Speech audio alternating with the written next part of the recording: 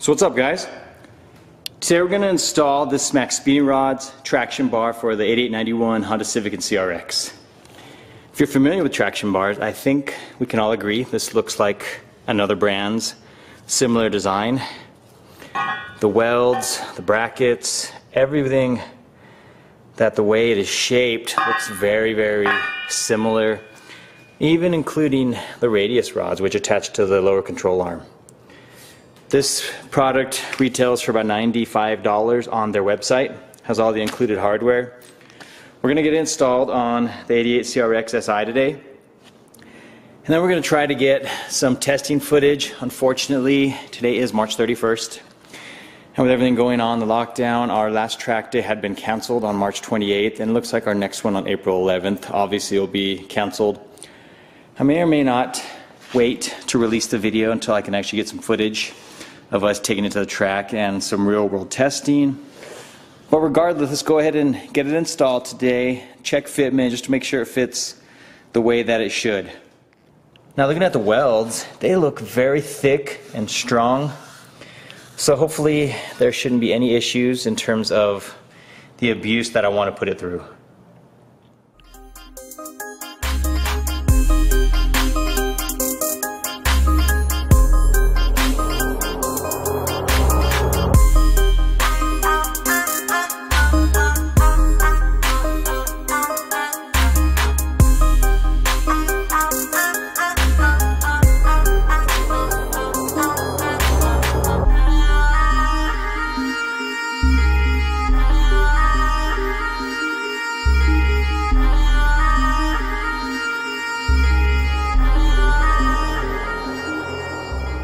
Since this car has a B-swap already, this is easy to remove because the front motor mount isn't attached.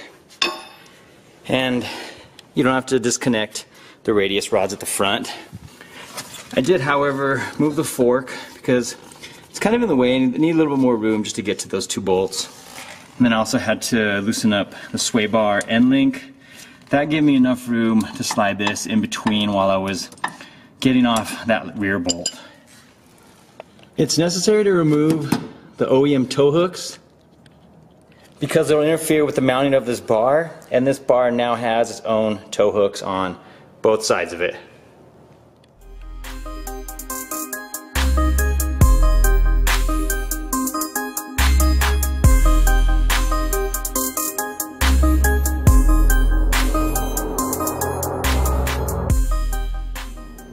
Initial test fit is perfect. No issues. Everything bolted straight up. Radius rods should go on very easy next.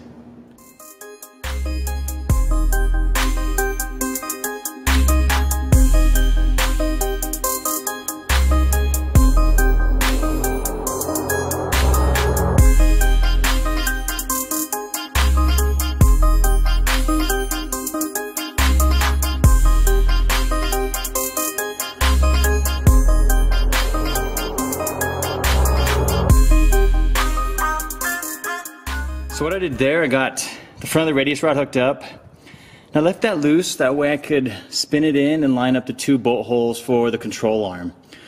So now I can go ahead and tighten up the lock nut. I'm gonna slide the bolt out, push the washers in, and then it has a, a nylock as well.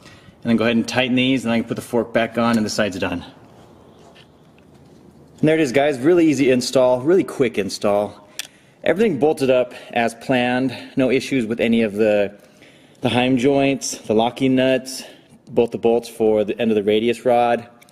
Of course, the four that bolt the frame to the actual bar itself. So this one is done. Really quick install. Only took me maybe 45 minutes to an hour just to get everything tightened up completely. Here's a look at the bar from the top a lot more room now and it'll make it so much easier for me to get off this one piece header. You can see the clearance on it as well, like the oil pan, the header, the transmission. The bar sits up really high so there shouldn't be any clearance issues at all. And it looks like we're not going to be able to test it at the track, so I have another idea of how we can get out there and go ahead and test this bar. So what we're going to do to test out the traction bar, my friend Jaime just picked up this EG Coupe about two months ago. Has a B16A3 in it. It has pretty much stock everything else, so even suspension. We're gonna take it out there and do a couple drag races today. Let's a little look at his hatch. Really, really clean. It's a 94, right, Jaime? Yes, sir. 94 DX hatch. Um, let me see the engine. Pop it up. Let's check it out. Oh, here you go. Um, they're here. No, I I brought them with for the hood.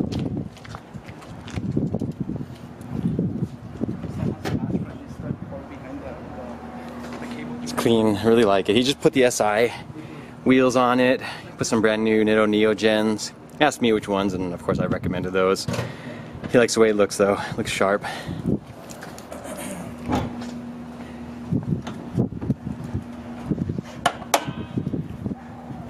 It looks clean. Love it. So just a B16A3 um, GSR transmission in there. But everything else is relatively stock. Simple setup. Feels solid. We're to take it out there and see how we do against one another today.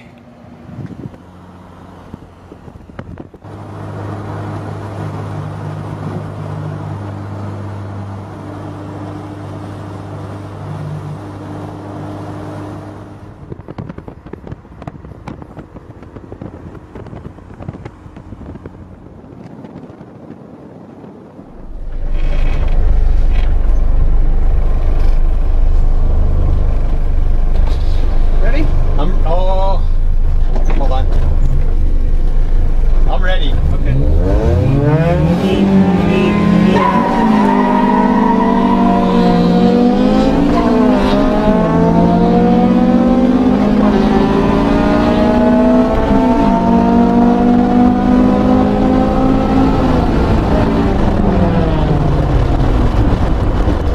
Man, I sucked. Yeah, it is.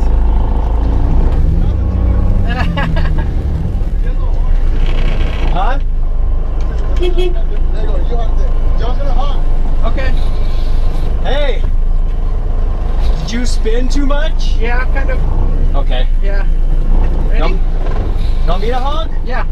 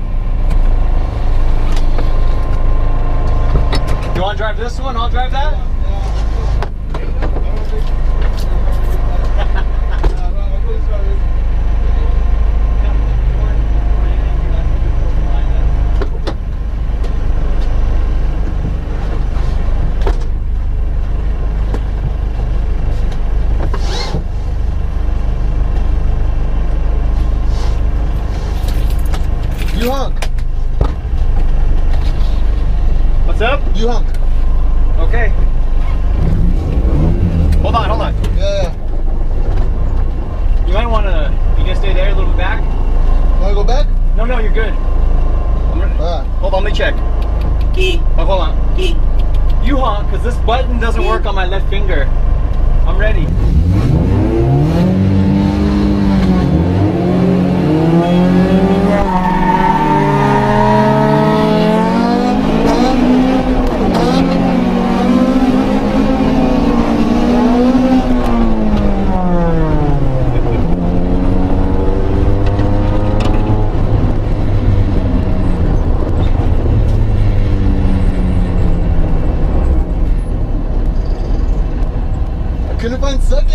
get it? I couldn't get it in. Push it, push it, All the way down, huh? push the pedal all the way down. Yeah, that's what I was doing now. It's a tough transmission. It's weird. Alright.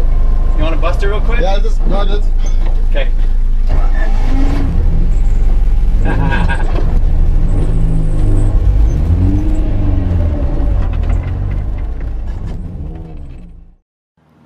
There you go, guys. So after those races, this car is obviously has a little stronger B16A than his.